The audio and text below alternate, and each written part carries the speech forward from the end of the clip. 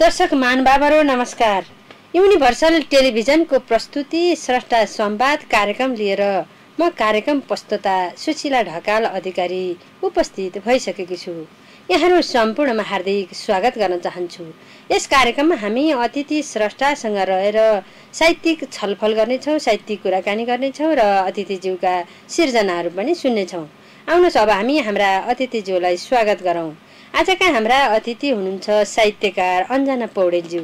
यहाँलाई हार्दिक स्वागत छ। नमस्कार हाम्रो। स्रष्टा संवाद कार्यक्रममा। नमस्कार आराम हुनुहुन्छ? हजुर के गर्दै हुनुहुन्छ हिजो आज?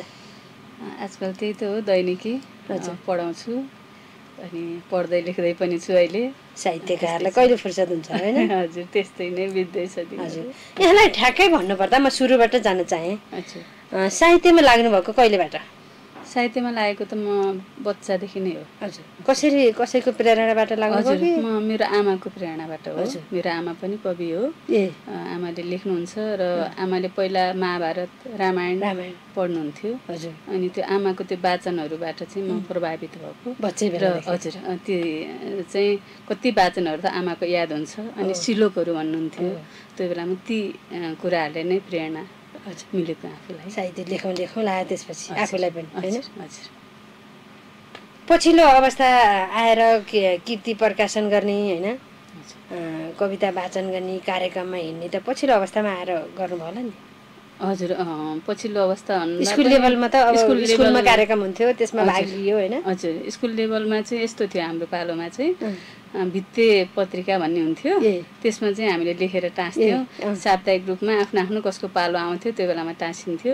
त्यो बेला मैले सुरुमा आमा कविता नै लेखेर टाँसेको थिएँ। किनभने हजुर म आमाबाट नै प्रभावित भएको थिएँ र आमाको धेरै धेरै प्रभाव परेको हुनाले पनि आमा कविता सुरुमा लेखेको थिएँ अहिले पछिल्लो अवस्थामा आएर साहित्यका विभिन्न विधाहरू छन् होइन? यहाँलाई मनपर्ने र यहाँले लेख्नुभएको विधा चाहिँ कुन? हजुर विधाहरूमा चाहिँ मलाई सबैभन्दा मनपर्ने त कविता नै हो। हजुर। किनभने म कविताबाट नै सुरु गरेँ। अहिले वाचन गर्न पनि कवितै मनपर्छ लेख्न पनि कविता नै मनपर्छ। किनभने आफ्नो आफ्नो भनाइहरूमै चाहिँ छोटकरीमा आफूले व्यक्त गर्न सकिन्छ होइन? अनि त्यही कारणले पनि कविता चाहिँ असाध्यै मनपर्छ मलाई। तर अरू विधाहरू पनि मैले हात चलाएको छु। हाइकु मुक्तक गीत. अहिले पछिल्लो समय गीतकार पनि भनेर चिनिन्छ क्या यहाँलाई। हजुर हजुर गीत पनि के रेकर्ड पनि गराउनु छ हजुर अलि अलिअलि चाहिँ मेरो रेकर्ड पनि भएका छन् भिजुअल पनि भएका छन्। हजुर अनि नारीहरूलाई साहित्यमा लाग्न असाध्यै कठिन हुन्छ पनि भनिन्छ होइन? हाम्रो नेपाली समाज हिन्दू नारीहरूलाई त असाध्यै गाह्रो पनि हुन्छ अरे। हजुर। यहाँलाई चाहिँ कस्तो छ? घर परिवारको सपोर्ट? हजुर। अब त्यो भन्ने कुरा पनि भन्ने कुरा मात्रै हो जस्तो लाग्छ कि मलाई? किनभने बाहनाहरू धेरै हुन्छन्। पढ्ने लेख्नेका पनि बाहना धेरै हुन्छन्। जसलाई चाहिँ त्योबाट उम्किन मन लाग्छ त्यसका पनि बाहना धेरै हुन्छन्। तर बाहना मेरो चाहिँ लेख्ने बाहना बनेको हुनाले। पढ्ने लेख्ने चाहिँ इच्छा रहर। त्यसको कारणले चाहिँ मैले कुनै पनि समयमा मैले आफ्नो मनमा आएको कुरा चाहिँ डायरीमा अथवा मोबाइलको नोटमा छोटो टिपिहाल्छु। नत्र बिर्सिन्छ अनि त्यसरी चाहिँ मैले पछि चाहिँ त्यसलाई पूर्ण रूप दिने गरेको छु। त्यही हुनाले आफ्नो इच्छा शक्ति नै ठुलो कुरा हो। अब विभिन्न बाधाहरू त आइरहेको हुन्छन् होइन? त्यो कुरा। मिलाउन सक्नु पर्यो। होइन कसैको त घर परिवार सपोर्ट नभएपछि आफूले लेख्न लागेको अब प्रकाशित। प्रकाशन गर्न लागेको कृतिहरू होइन। हजुर। घर परिवारले सपोर्ट दिएन भने त कसरी प्रकाशन गर्नु त सकिँदैन एउटा नारीले। सकिँदैन। त्यो पनि गाह्रो छ। तर यहाँलाई त फुल सपोर्ट छ। मलाई चाहिँ सपोर्ट छ भनौँ। र मेरो इच्छा शक्तिले पनि बढी काम गर्यो। होइन? अब कति कुराहरूमा सपोर्ट चाहँदा चाहँदै पनि मिल्न सक्दैन.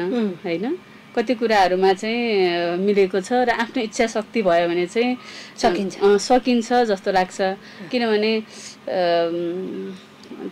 बाटोमा काँडाहरू छन् भने त पन्छाउने जिम्मा त हाम्रो हो नि त पन्छाउँदै होइन बेडदेखि के अरे दैलो ठेलादेखि समाजदेखि. होइन सबै कुरामा चाहिँ हामीले समायोजन गर्दै जान सक्नुपर्छ। आफैमा भर पर्ने कुरा हजुर आफैमा भर पर्ने यो आफूले गर्न नसक्ने अरूलाई दोष थुपार्ने चाहिँ ठिक होइन जस्तो लाग्छ कि किनभने। हाम्रो समाज नै नारीको पक्षमा छैन नि त। पुरुष प्रधान समाज हो। होइन जति सहज पुरुषलाई छ नि नारीलाई छैन। छैन हुर्काउनेदेखि घरको काम गर्नेदेखि।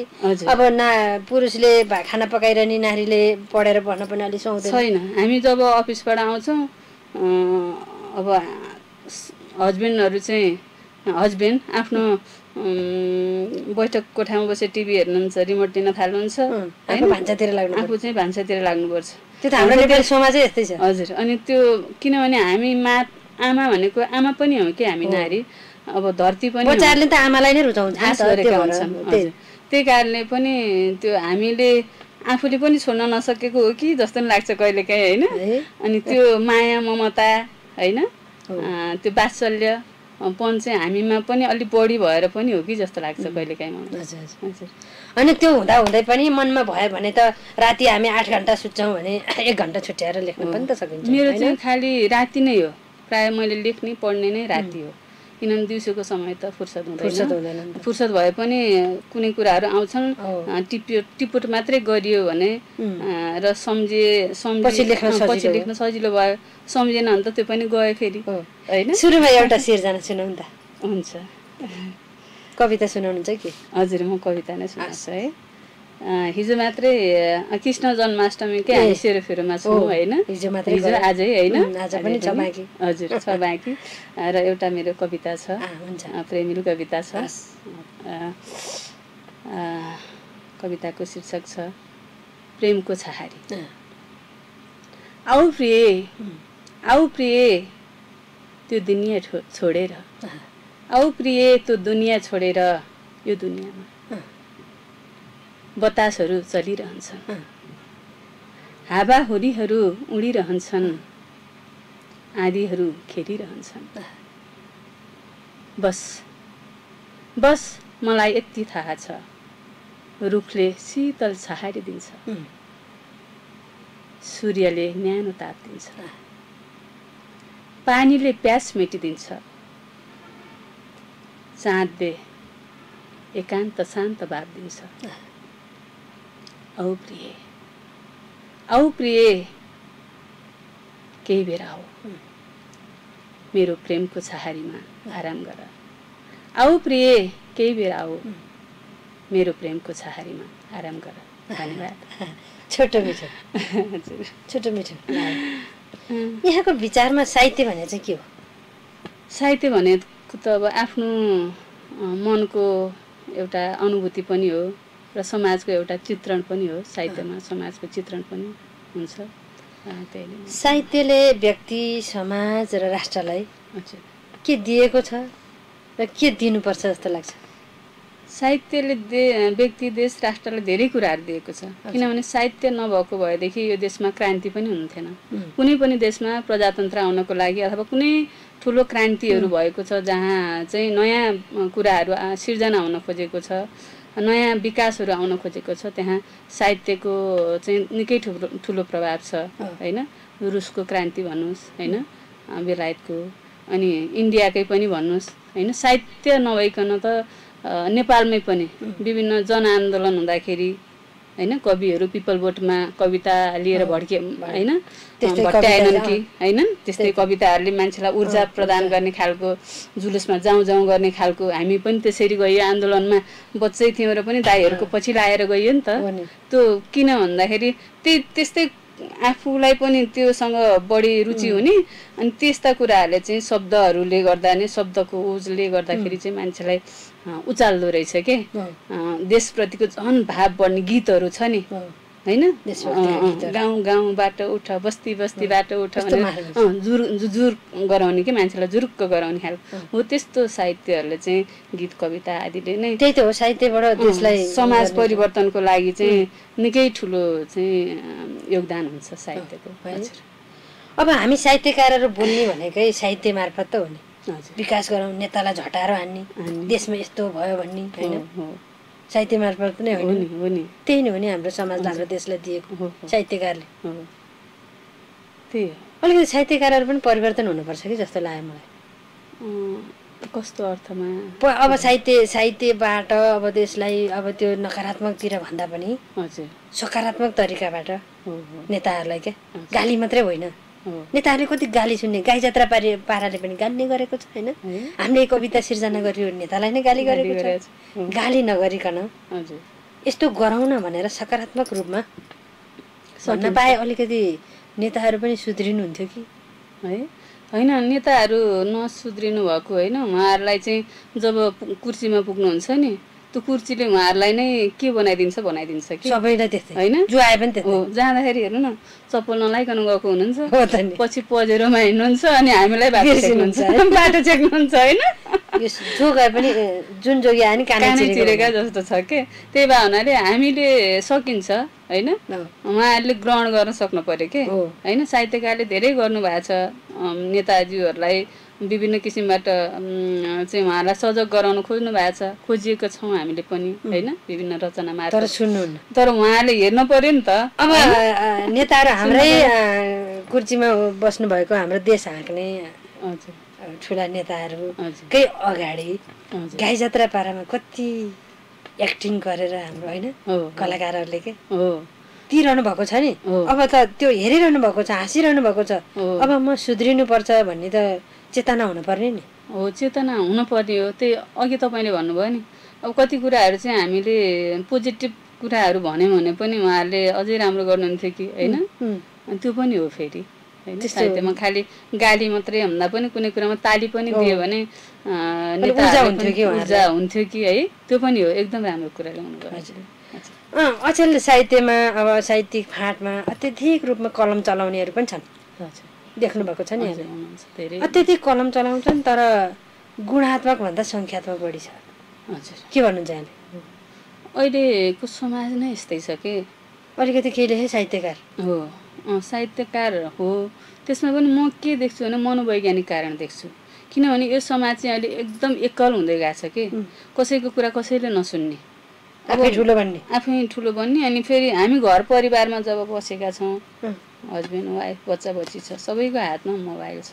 यो ग्लोबलाइजेसन? गर्दाखेरि पनि मान्छेले आफ्नो त्यो भावना छ नि पहिला गाउँमा कस्तो मजाले पिँढीमा बसेर आँगनमा बसेर। गफ हुन्थ्यो यहाँ सहरमा बसेर। होइन अहिले कुरा गर्ने उनै छैन। सबै हात हातमा समा संसार छ। अनि? अनि त्यही हेरेको छ त्यसैमा त्यसैमा बसिया छ होइन?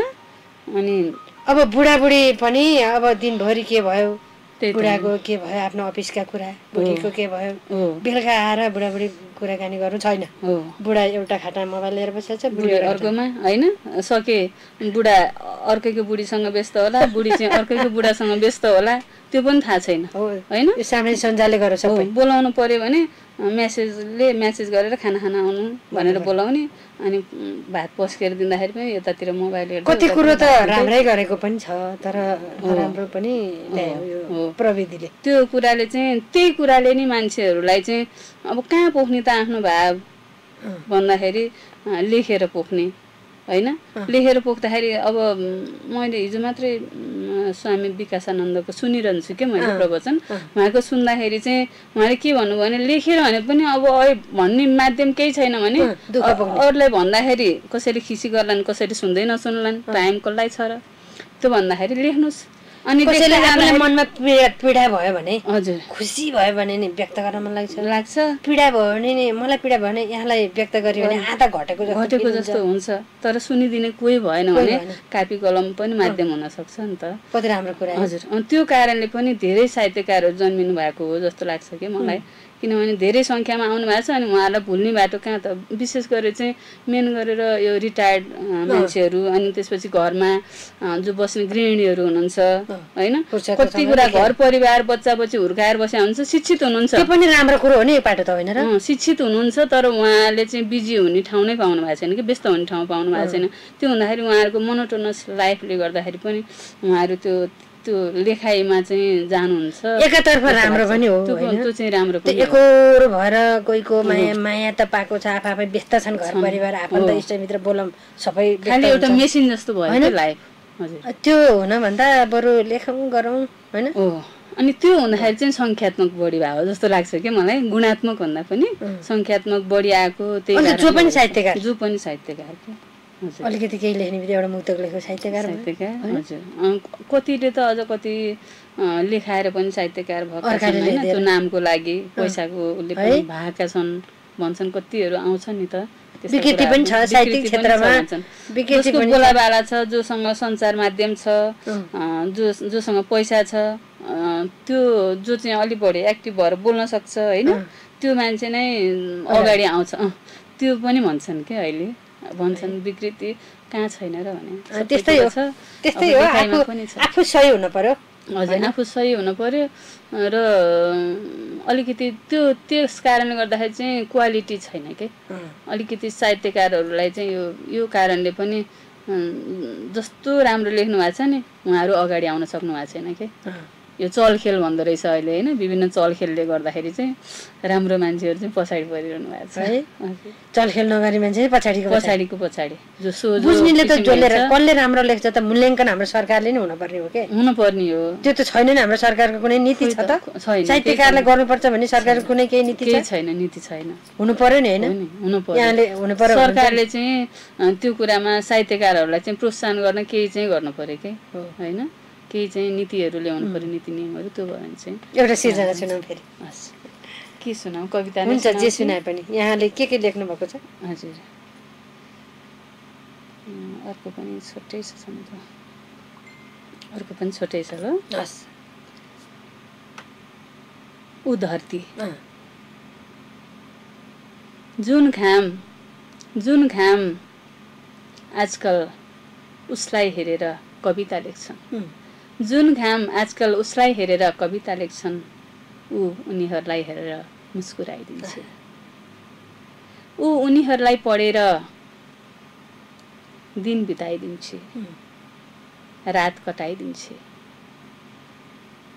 हो ऊ धरती हो हो ऊ धरती हो। छोटो मिठो कति मिठो। छोटोमै संसार अटेको छ यहाँको कविता। मैले त्यो बुझ्ने हो छोटो छोटो। समय पनि छोटो छोटो हो नि त्यही कारणले छोटो छोटो हामीले कुनै कार्यक्रममा जानु पर्यो भने लामा कविता वाचन गरेर बस्न बोर पनि लाग्ने होइन। यहाँले साहित्यका विधाहरू पनि छ। अँ, विधाहरू मात्रै यहाँले लेख्नु भएको विधा बढी लेख्नु भएको विधा चाहिँ कुन कविता भन्नुभयो होइन? हजुर कविता हाइकु। हाइकु विधामा पनि मेरो हाइकुको दुईटा किताब छ मेरो। अनि कविता चाहिँ मेरो प्रकाशनकै क्रममा छ। कविता सुरुमा लेखेँ तर चाहिँ प्रकाशनको क्रममा छ। किनभने सङ्गतले पनि गर्दो रहेछ कि हाइकुमा चाहिँ सङ्गत भयो। गरियो। प्रोग्रामहरूमा गइन्थ्यो गरिन्थ्यो। कविता चाहिँ छ। अब लेख भन्ने भयो। किताबै निकालेर चाहिँ राखौँला आफ्नो एउटा कृति भन्ने चाहिँ छ। अब त्यो कहिले हुन्छ? यसैमा जोड्न चाहेँ मैले। अब कतिको चाहिँ कस्तो बानी छ भने साहित्यमा आउन पाएको छैन। एक दुई वर्ष पनि भएको छैन। कृति निकाल्न हतार गर्ने। हो हो। त्यस्तो पनि देखिएका छन् साहित्यकारहरू। के भन्नुहुन्छ? म मलाई लाग्छ अलिकति खारिएर अलिकति राम्रो बनाएर परिमार्जित गरेर प्रकाशित गर्न पाए। एकपल्ट छापिसकेपछि त फेरि त्यो फर्केर त छाप्न मिल्न त मिल्छ। तैपनि अब त्यसको खर्चले त अर्को आउँछ नि। आउँछ नि होइन? नि हो। अलिक खारिएर विचार गरेर छाप्नुपर्छ मेरो विचारमा। यहाँको विचारमा के लाग्छ? त्यो अघि भन्यौँ नि हामीले त्यही हो कि? चलखेल हो क्या बढी? है? किनभने पैसाको चलखेल अब के के के के के छ कि यहाँ त? चलखेलहरू है धेरै छन् भन्छन् साहित्यमा पनि। अनि त्यही कारणले पनि तपाईँको एउटा कृति चाहिँ आउनुपर्छ भनेर अब कोही अब धेरै उचालिदिने पनि हुन्छन् कि मान्छे। केही पनि हुँदैन गुदी तर पनि अब त्यस्तै छ अब। यहाँको कृतिहरू यो के चरी चरीमाई हजुर यो चरीमाई? मेरो चाहिँ उपन्यास। अहिले भर्खर नयाँ आएको वैशाखमा। भर्खर विमोचन भर्खरै विमोचन यो गरेको उपन्यासभित्र चाहिँ के छ? हजुरलाई उपहार त। यो उपन्यासभित्र चाहिँ के छ? यो उपन्यासभित्र विषयवस्तु छोटो। विषयवस्तु यो चेलीबेटी बेचबिखन सम्बन्धी हो हजुर। मार्मिक रहेछ। हजुर। चेलीबेटी बेचबिखन सम्बन्धी यो नुवाकोटको रियल घटनामा। अँ रियल घटनामा आधारित हो। हजुर। हो नुवाकोट र अनि अब भारतसम्मको। अस्ति भर्खर म भारत पनि गएर आएँ। त्यहाँको हजुर, हजुर अनि नेपाली एम्बेसडरसँग पनि कुरा भयो। उहाँले पनि गर्छु भन्नुहुन्छ। त्यहाँको साहित्यकारहरूसँग कुरा गरेर आएँ। अब भारतमा पनि धेरै खोज्नु भएको छ किनभने यो फेरि नेपालीमा छ। हिन्दीमा चाहिँ प्रकाशन गर्नु पर्यो भनेर भन्नुभएको छ। अब अनुवाद गर्नलाई चाहिँ खोजिरहेको छु कोही त्यस्तो साथीहरू हुनुहुन्छ भने यहीँबाट पनि मैले अनुरोध गरेँ। मार्फत हजुर यहीँ टेलिभिजन मार्फत पनि हिन्दीमा अनुवाद गर्न कोही इच्छुक हुनुहुन्छ भने प्लिज मसँग सम्पर्क गरिदिनु होला। हामी उपन्यास। चाहिँ रियल घटनामा आधारित उपन्यास हो। हजुर रियल। घटना। देख्नुभयो? हजुर। म यहाँले? गएर दुप दुप्चेश्वर ग्याङफेदी सिकरबेसी नुवाकोटको। अनि त्यसपछि अँ, केही हिस्टरी घटना अब मान्छेहरूसँगको। भेटघाट होइन? त्यो सबै कारणहरूबाट त्यो अब त्यहाँ भन्नुभयो अनि। यहाँलाई पनि छोयो मनमा छोयो। हजुर। अनि लेख्न मन लाग्यो पात्र फरक बनाएर होइन? अनुसन्धानात्मक हो यो। ए। हजुर। खुसी लाग्यो यो पनि पढौँ पढौँ पढ्ने छु हजुर पढेर खुसी लाग्यो यहाँको यो उपन्यासको लागि सफलताको शुभकामना पनि दिन चाहे। Thank न अब केही आउँदैछ कि छिटै? नयाँ अहिले तिज गीत ल्याउँछु भनेको थिएँ। तिज गीत चाहिँ गीतकार पनि हुनुभयो। हजुर तिज गीत चाहिँ अठहत्तर सालमा ल्याएको थियो। ए। अनि त्यो भयो अब अनि आधुनिक गीत छ। अनि हजुर शिव भजन पनि छ। बिस्तारै। बिस्तारै अब एक एक वर्षमा त्यो गर्दै जाउँ एउटा आफ्नो मरेर जाँदाखेरि के छोड्ने त भन्दाखेरि यो गरौँ भन्ने हो। यहाँलाई साहित्यमा लागेर कस्तो अनुभूति भएको छ त? साहित्यमा लाग्दाखेरि त एकदम अब त्यो वर्णन गर्न सकिँदैन। है? यति आनन्द। हुन्छ नि है जब। लेखेर सकिन्छ नि। खुसी हजुरले अघि भन्नुभयो नि खुसी हुँदाखेरि पनि आँसु खस्छ मेरो? र दुखी हुँदा पनि आँसु खस्छ। जब आँसु चाहिँ कलमको टुप्पोमा आएर बस्छ नि अनि कपीमा सर्छ त्यसपछि सरेपछि यति आनन्द हुन्छ कि त्यसको बयान छैन। है? हजुर।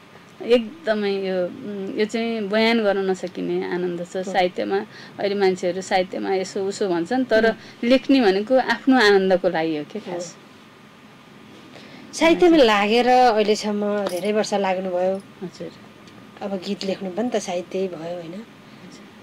के कमाए जस्तो लाग्यो त साहित्यमा लागेर त्यही हो आत्मसन्तुष्टि होइन। आनन्द। अलिअलि नाम पनि भयो कि हजुर। होइन? अलिअलि मरेर जाने जाँदाखेरि चाहिँ कृति पनि रहने भयो कि। हजुर।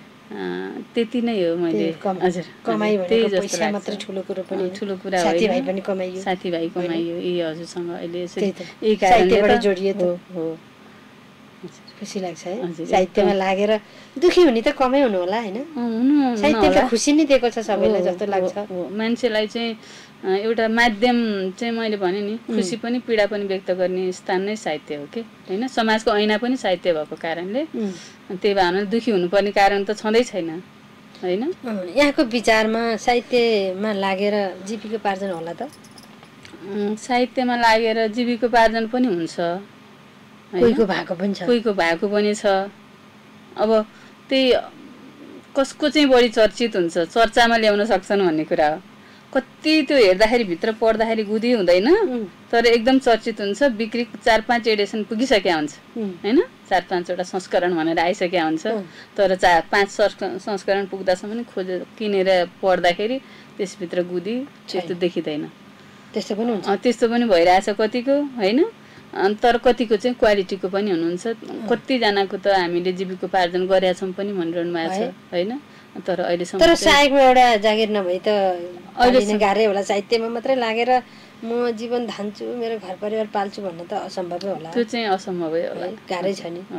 साइडमा केही त हुनै पर्यो। हुनै पर्यो। फेरि यसैमा जोडेँ। यहाँ त साहित्यकार गीतकार होइन? आफ्नो पेसा यसै पनि छ। शिक्षण पेसा छँदैछ। हजुर हजुर। कसरी धान्नुहुन्छ उता शिक्षण पेसा? हुन त एउटै एउटै हो यो। हजुर हजुर। कसरी समय निकाल्नुहुन्छ? यो त्यही हो पेसा आफ्नो ठाउँमा छ रहर आफ्नो ठाउँमा छ कि। भ्याएको बेला लेख्ने? भ्याएको बेलामा लेख्ने।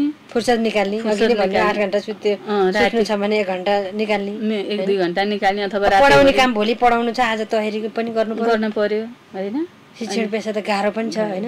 उल्टो पढाएर भएन। भएन। सही पढाउनु पर्यो। पर्यो। होइन? हो नि। गाह्रो पनि छ। हजुर। त्यसैले अब आफ्नो समय हेरेर हामीले विचार गर्नु पर्यो। हजुर होइन? अब कार्यक्रमको अन्तमा छौँ। यहाँ त गीतकार पनि हुनुहुन्छ। हुन्छ मुक्तक पनि लेख्नुहुन्छ। हजुर। मुक्तक पनि भनौँ न दुईवटा अनि तिजको गीत पनि सुन्ने इच्छा छ। हुन्छ। हुन्छ ल। मुक्त पनि मेरो प्रकाशनकै क्रम भनेर राखेको छु। अघि भनिहालेँ होइन। छन् कृति के अरे कृतिहरू निकाल्ने क्रममा छन्। तर कहिले आउँछन् जीवन रहँदासम्म होला। नभए पनि दुईवटा निकालिदिनु मुक्तक र एउटा तिजको गीत सुनौ त। हस् तिज पनि आइरहेको छ नि त। हस् हस्। हाँसो ठट्टा खेल रमाइलो दुई दिनका साथी। हाँसो ठट्टा खेल रमाइलो दुई दिनका साथी।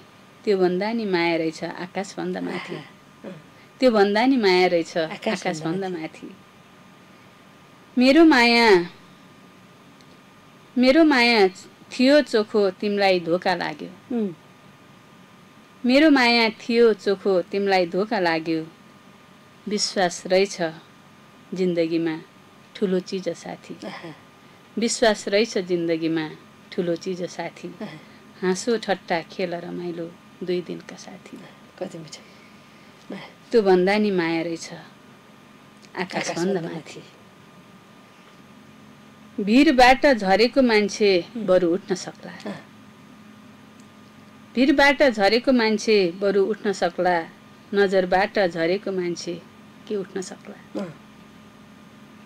नजरबाट झरेको मान्छे के उठ्न सक्ला? आफ्ना गल्तीहरू सबै स्वीकारेर मात्र। आफ्ना गल्तीहरू सबै स्वीकारेर मात्र। प्रायश्चित्त गरे बरु अघि बढ्न सक्ला। प्रायश्चित्त गरे बरु अघि बढ्न सक्ला। भिरबाट झरेको मान्छे. बरु उठ्न सक्ला। नजरबाट झरेको मान्छे के उठ्न सक्ला? कति कति मिठो एउटा तिजको गीत पनि सुनौ न। यहाँ त गीतकार पनि हुनुहुन्छ। तिज भने आइरहेको छ। होइन? हजुर। एउटा तिजको गीत सुनौ। तिजको गीत चाहिँ मैले खासै ल्याएको छैन। मेरो त्यही मेरो प्र ऊ भएको भिडियोमा? आएको। गीत हो। अनि त्यो चाहिँ थोरै भन्छु होइन। मेरो चाहिँ छम्म छम्म तिजको गीत सुनिता अधिकारीले गाउनु भएको छ मैले लेखेको हो। र म पनि छु भिडियोमा। है हाम्रो अठहत्तर सालमा। कोरोनाको बेलामा आएको हजुर। सुनौ त। हजुर, त्यो गीत सुनिसके है। हाम्रो टेलिभिजन मार्फत। यहाँको आवाजमा सुनौ त्योभन्दा पनि अर्को भनौँ कि। हुन्छ जे यहाँको अनि छम्म छम्म भनेर चाहिँ मैले यो भन्न चाहेँ युट्युबमै है। युट्युबमा। चाहिँ त्यसको सङ्ग सुनिता अधिकारी च्यानलमा छ। छम्म छम्म सुनिता बाई हाम्रो सुनिता अधिकारी हजुर भिडियोमा पनि छु हेर्नु होला है। सबैजना नाच्नु होला तिजमा हुन्छ। हुन्छ अर्कै सुनाउन है? अब कुन सुनाउ त? मलाई चाहिँ त्यो पुरानो पुरानो। पुरानो सुने पनि हुन्छ अलिकति है? सुनाउ न तिज आइरहेको छ अनि। है त्यही सम आमाहरूले गाउँदाखेरि गाइन्थ्यो हामीले होइन? त्यो झन् रमाइलो होइन। हुन्छ गाउनु होला बाबाको दैला मुनि ठुलो रुख बढर बाबाको दैला मुनि ठुलो रुख बढर धेरै छोरी भए भनी हेला नगर धेरै छोरी भए भनी हेला नगर। छोरी पनि जन्मिएका घरको कुनामा छोरी पनि जन्मिएका घरको कुनामा आफ्नो मनको पीर व्यथा कसलाई सुनाम? आफ्नो मनको पीर व्यथा कसलाई सुनाम?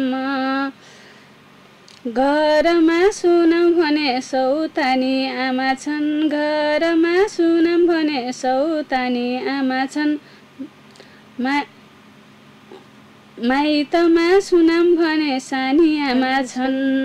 माइतमा सुनाम भने सानी आमा छन्। बाबाको दैला मुनि ठुलो रुख बढर बाबाको दैला मुनि ठुलो रुख बढर धेरै छोरी भए भनी हेला नगर धेरै छोरी भए भनी हेला नगर। यसमा यहाँको मार्मिक गीत पुरानो आमाहरूको पालाको मार्मिक गीत गाउनु हुन्छ यहाँलाई हार्दिक धन्यवाद। यहाँको साहित्यिक उन्नतिको कामना गर्न चाहन्छु। हामी कार्यक्रमको अन्त छौँ। जाँदा जाँदै के भन्न चाहनुहुन्छ? दुई शब्दमा। हजुर दुई शब्दमा अब हजुरले यसरी मलाई बोलाएर आफ्नो कुराहरू राख्ने मौका दिनुभयो। सुशीलाजीलाई हृदयदेखि धन्यवाद दिन चाहन्छु र विशेष गरेर युनिभर्सल टेलिभिजन र परिवार युनिभर्सल टेलिभिजन परिवारलाई पनि। धेरै धेरै धन्यवाद आइदिनु भयो नमस्कार। हस्, त दर्शक महानुभावहरू कार्यक्रम कस्तो लाग्यो हेरेर सुनेर प्रतिक्रिया दिन नभुल्नुहोला। युनिभर्सल टेलिभिजन हेर्दै गर्नुहोला। अर्को हप्ता अर्का नयाँ स्रष्टाको साथमा उपस्थित हुने बाचा गर्दै बिदा हुन चाहन्छु। नमस्कार।